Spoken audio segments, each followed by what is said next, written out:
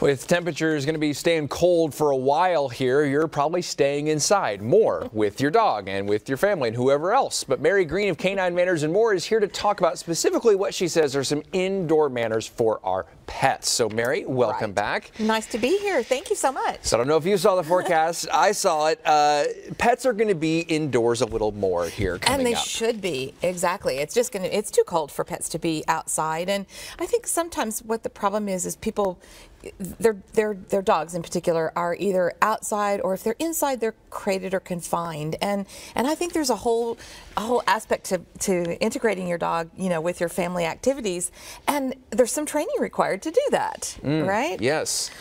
So the first and easiest thing is use a leash. You don't have to let your dog go racing through the house. In fact, I had to do that at my house this morning because somebody wanted to go racing through the house.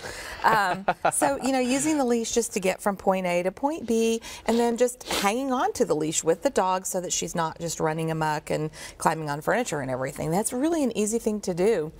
Um, another thing that I do is, is to kind of teach the dog where I want them to be. So we do a lot of um, uh, like training the dog to to go and settle on a specific dog bed or mat and maybe chew their own toy, stay there, and be calm in that manner. So that's another thing that you can Okay. do.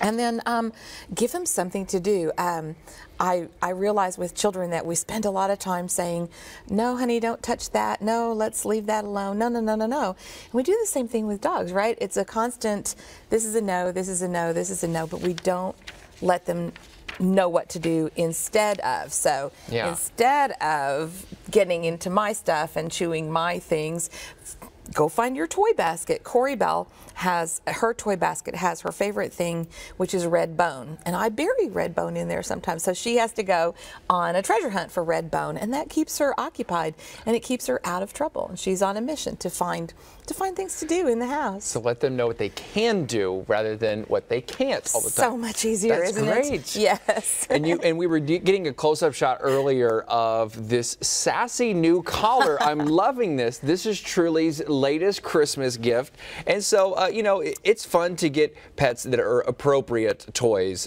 for Christmas as well. Absolutely. And this would not be an everyday collar. This is like a special event. I'm gonna be on TV collar, Right. yeah. I have to have my, you know, I have to have my bling on for TV, but no, that wouldn't be her her everyday her everyday attire. Well, Mary, thank you so much. Thank you, Dave. And you can always email us questions if you'd like. Noon show at newson6.net.